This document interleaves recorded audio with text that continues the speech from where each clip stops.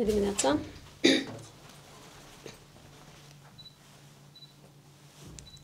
Cum începe? Mulțumesc! Dragi cetățeni, am văzut cu toții în ultimele zile cum Dodon a ajuns în ultimul hal. A coborât direct în glod.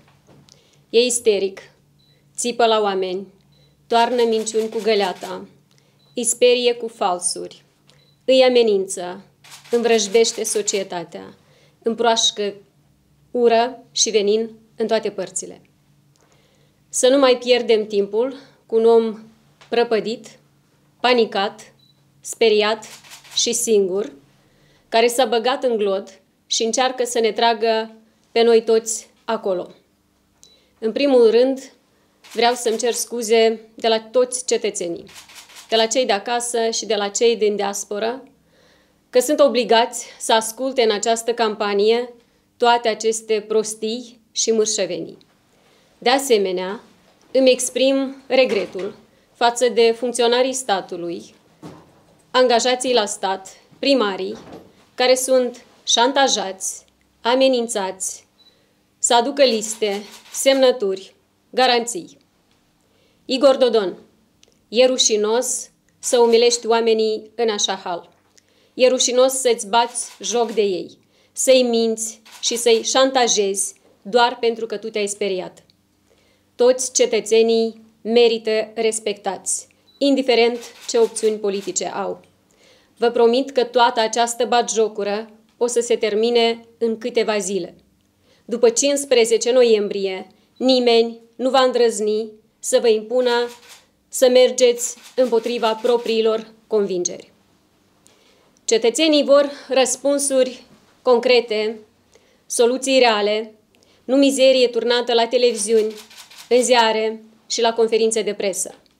Am insistat să avem o dezbatere publică în fața oamenilor pe subiecte de interes național, probleme economice, depășirea crizei sanitare, combaterea corupției și a sărăciei. Dar ori de câte ori este chemat să discute probleme serioase, Igor Dodon nu face altceva decât să mai arunce trei minciuni într-o propoziție. Ori de câte ori este întrebat cu ce s-a ocupat în ultimii patru ani, el lansează falsuri ca să sperie lumea și să nu-i mai ceară nimeni socoteală. El este slab și panicat. El nu poate da nici răspunsuri, nu poate rezolva probleme, el poate doar otrăvi poporul cu minciuni. Cu un asemenea personaj nu mai avem ce discuta. Să se bălăcească de unul singur în glodul în care a coborât. Singurele dezbateri pe care le mai poate avea sunt cele cu procurorii. Despre actele de corupție, schemele în care este implicat, trădare de țară, furturile și vestitul cu loc. După alegeri, voi insista, voi cere insistent ca să fie anchetat pentru toate abuzurile pe care le-a comis. Avem nevoie de un președinte care respectă oamenii, nu de unul care vrea să le obțină voturile amăgindu-i și speriindu-i. Eu voi fi un președinte al tuturor, indiferent cine a votat sau cine nu m-a votat, indiferent de limba vorbită sau opțiunile politice. Voi lupta doar împotriva hoților și voi apăra oamenii cinstiți. Ziua de 15 noiembrie este ziua schimbării. Este ziua în care vom începe să ne construim un viitor bun aici, acasă. Dodon rămâne în trecut. Noi trebuie să ne concentrăm pe problemele prezentului și pe planurile de viitor. Astăzi vin în fața dumneavoastră cu primele 10 acțiuni antisărăcie în calitate de președinte. Dragi concetățeni, în ultima perioadă Moldova a sărăcit drastic. În ultimul an, sute de mii de oameni au ajuns să trăiască mai rău. Oamenii au pierdut veniturile atât aici acasă în Moldova, cât și în diaspora. Am văzut la întâlnirile electorale oameni disperați, loviți crunt de criza economică și de restricțiile pe care autoritățile le-au impus, fără nicio grijă sau responsabilitate pentru oamenii afectați. Prețurile au crescut. Accesul la servicii medicale, accesul la servicii de educație, la grădiniță, transport public a devenit mult mai dificil. Pe fundalul acestei sărăcii, actuala guvernare se joacă de țara în bunghi.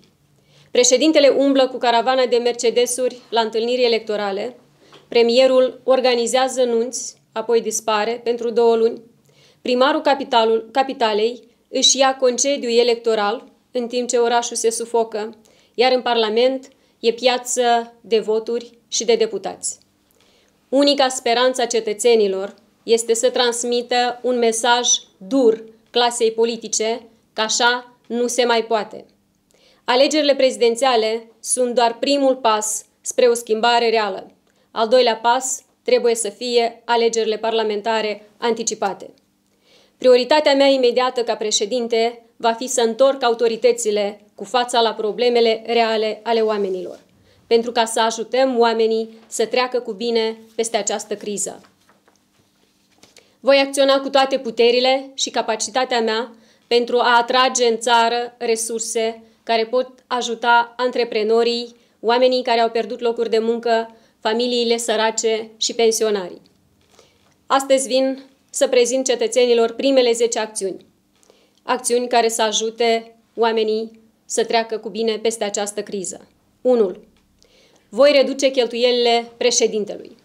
Într-o țară unde majoritatea oamenilor trăiesc sărac, un președinte responsabil nu se lăfăie în lux. Voi veni cu o propunere de reducere a cheltuielilor președinției. Voi da jos gardul de la președinție și voi fi aproape de oameni. Voi asigura că reședințele luxoase ale președintelui și spațiile nefolosite ale clădirii președinției să fie folosite în interes public. Această reducere de cheltuieli va fi un exemplu și pentru alte instituții. Voi veni cu inițiative legislative de lichidarea unor funcții inutile în alte instituții publice, pentru care statul plătește salarii grase, întreține automobile și aparate administrative aiurea. Statul trebuie să reducă cheltuielile administrative și banii economisiți să investească în economie și în susținere socială pentru oamenii nevoiași. 2. Voi identifica soluții legale pentru declanșarea alegerilor parlamentare anticipate.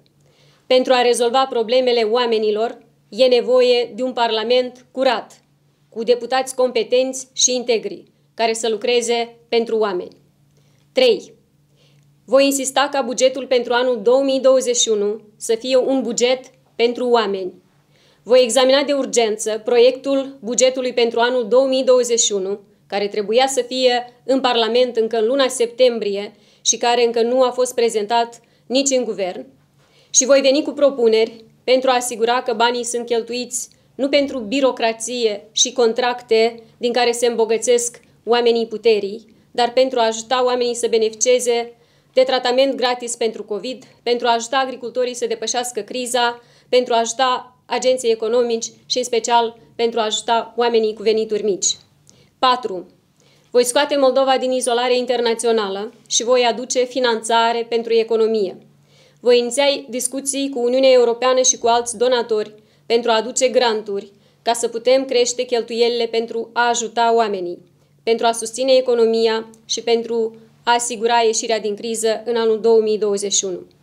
Din cauza guvernării incompetente, cetățenii au rămas singuri în fața sărăciei, în fața crizei.